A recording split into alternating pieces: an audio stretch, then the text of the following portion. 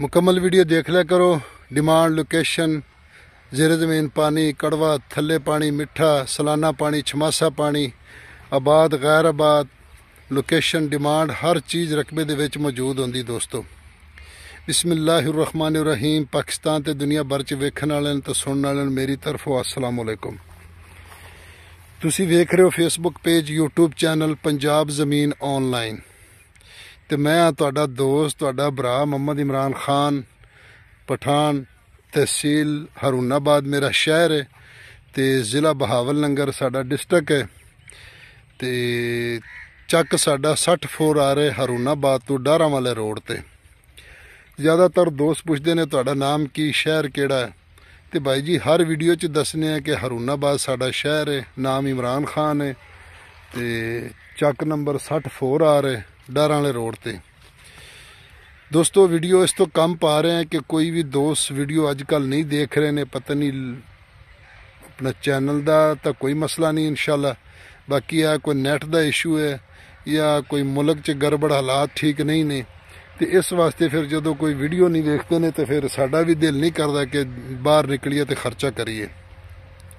ਜ਼ਿਆਦਾਤਰ ਸਾਡੇ ਦੋਸਤ ਜਿਹੜੇ ਨਾ ਡੀਲਰ, ਕੋਈ ਦੁਬਈ ਚਲੇ ਗਏ, ਕੋਈ ਸਾਊਦੀ ਅਰਬ ਚਲੇ ਗਏ ਨੇ, ਕੋਈ ਲਾਹੌਰ ਕੰਟੀਨਾ ਲਾ ਲਈਆਂ, ਕੋਈ ਇੱਥੋਂ ਕੋਈ ਜ਼ਿਮੀਦਾਰ ਆ ਕੋਈ ਮਾਲ ਮਵੇਸ਼ੀ ਰੱਖਣ ਲੱਗ ਗਏ, ਕਿਉਂਕਿ ਕਾਰੋਬਾਰ ਹੈ ਕੋ ਨਹੀਂ।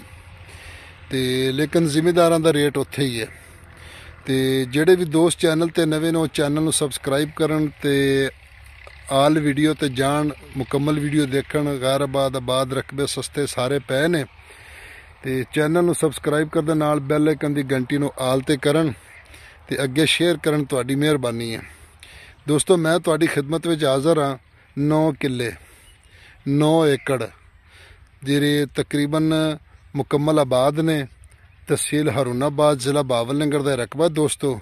ਤੇ ਹਰੂਨਾਬਾਦ ਤੋਂ ਕੋਈ 13 14 ਕਿਲੋਮੀਟਰ ਲਿੰਕ ਰੋਡ ਜਾਂਦਾ ਤੇ ਲਿੰਕ ਰੋਡ ਤੋਂ ਅੱਗੇ ਕੱਚਾ ਰਸਤਾ ਜਾਂਦਾ ਕੋਈ ਕਿਲੋਮੀਟਰ।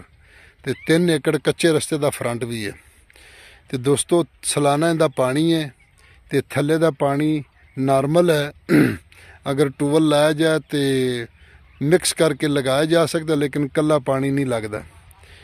ਤੇ ਡਿਮਾਂਡ ਦੋਸਤੋ, ਯਾਰਾਂ ਨੂੰ ਦੋਸਤਾਂ ਨੂੰ ਜ਼ਮਾ ਚੈਨਲ ਸਬਸਕ੍ਰਾਈਬ ਕਿਓ ਦੀ ਬੈਲ ਆਈਕਨ ਘੰਟੀ ਦਬਾਓ, ਕਿਸੇ ਟੂਲ ਨਮਕ ਕੇ ਜ਼ਮਾ ਵੀਡੀਓ ਤਾਸ਼ ਤੋ ਰਸੀਜ਼ੀ ਡਿਮਾਂਡ ਦੀ ਦੋਸਤੋ, ਅਗਰ ਕੱਲ ਗੱਲ ਕਰੀਏ ਤੇ ਡਿਮਾਂਡ ਇਹਦੀ ਹੈਗੀ 25 ਲੱਖ ਰੁਪਈਆ ਫੀ ਏਕੜ ਦੀ। ਯਾਨੀ ਫੀ ਕਿੱਲਾ 25 ਏਕੜ ਦੀ ਡਿਮਾਂਡ ਹੈ, ਬਾਕੀ ਮੌਕੇ ਤੇ ਡਿਸਕਾਊਂਟ ਵੀ ਹੋ ਜਾਏਗਾ।